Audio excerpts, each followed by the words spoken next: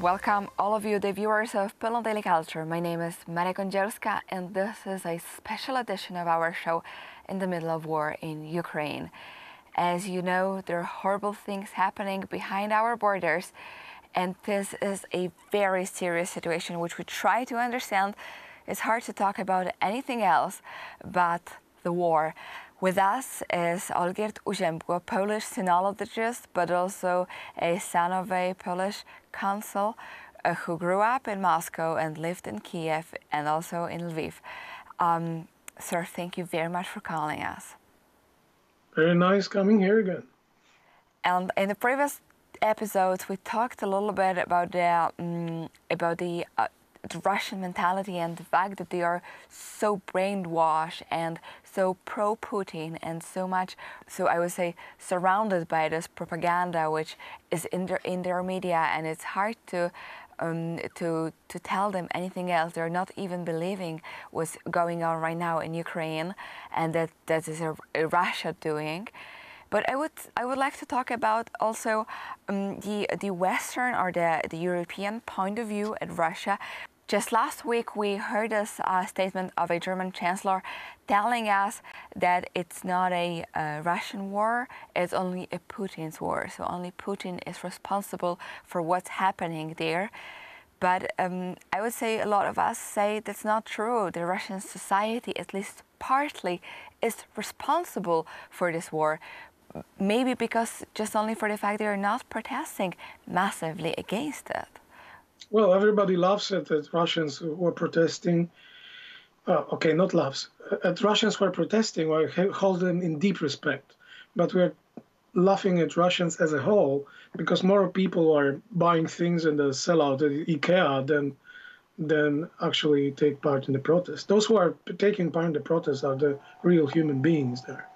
As to the Western politics, it's uh, it's been like a tradition, the appeasement before the Second World War and now and Germans apparently are still keeping on with the shameful approach to Russia.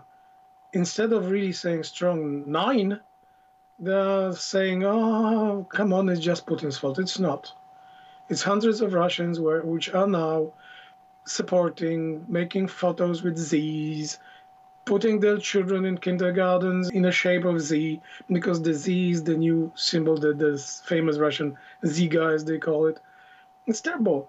And we should take action as a whole. I don't know how to convince Germans to change their uh, their actions, but we need to block the Russia out and to really stop any trade with them, any SWIFT, any buying. I think it is not easy. I think it will cost us a lot but otherwise, Russians will not feel they lost anything. Until they do not feel they lost the war, nothing will change in Russia. Exactly.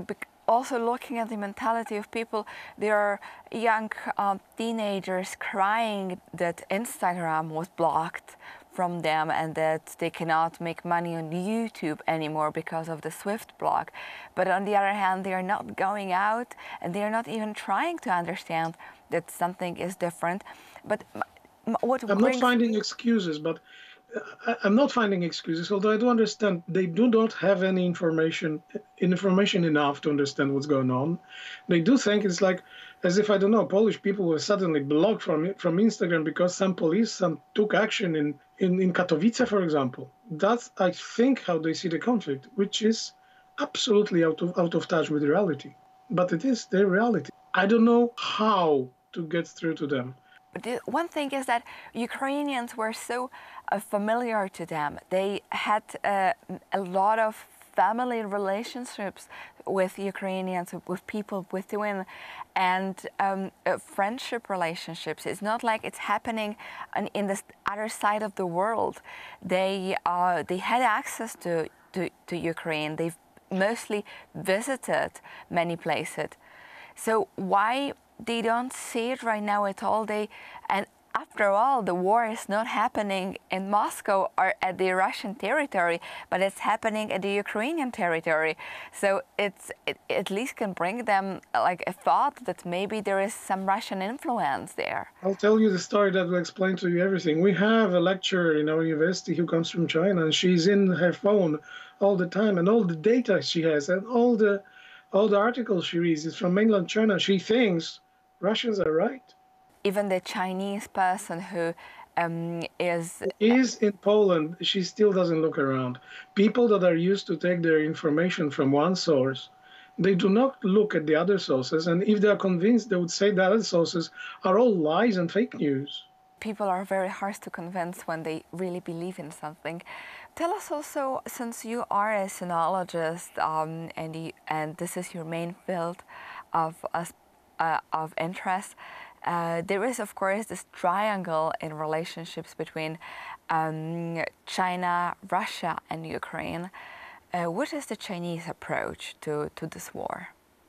Well, first of all, they, they did have a very strong campaign, the social media and the TV, that was saying that Russians are right. This is just a police action, and it's uh, it's not a war. It is changing now, but not much and it's still very strongly support. They, strongly support Russia.